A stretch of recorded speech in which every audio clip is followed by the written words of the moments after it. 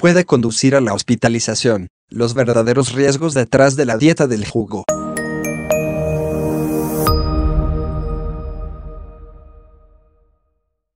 En la búsqueda de la salud y la belleza, muchas personas deciden experimentar con diferentes técnicas de nutrición enfocadas hacia la pérdida de peso. Una de las más populares en los últimos años es la dieta del jugo, la cual consiste en alimentarse principalmente de frutas y verduras frescas. Hay diferentes versiones de esta dieta. Algunas personas reemplazan solo algunas comidas por jugos, mientras que otras sustituyen la totalidad de su alimentación. Pero, ¿Esto es realmente bueno para la salud?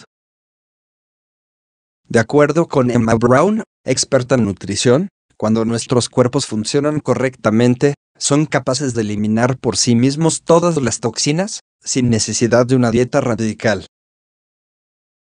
Por lo tanto, los jugos no solo no contribuyen a esta tarea, sino que pueden dificultar los procesos de limpieza natural. Al respecto, Brown explicó, Debido a que las dietas del jugo son muy limitadas, eliminan la fibra y las proteínas de nuestras dietas por un corto tiempo, las cuales son importantes para los procesos naturales del cuerpo. La proteína es necesaria para el funcionamiento normal del hígado, y la fibra es importante para mantener el sistema digestivo funcionando sin problemas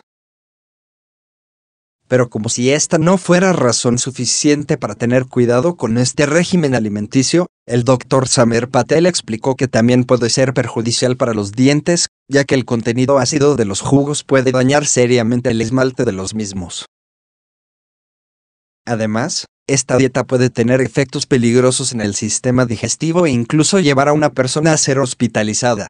Al respecto, Ernesta Stripecaite reveló, un efecto secundario común de la limpieza del jugo es algo llamado SBID, sobrecrecimiento bacteriano del intestino delgado, que puede provocar hinchazón e indigestión.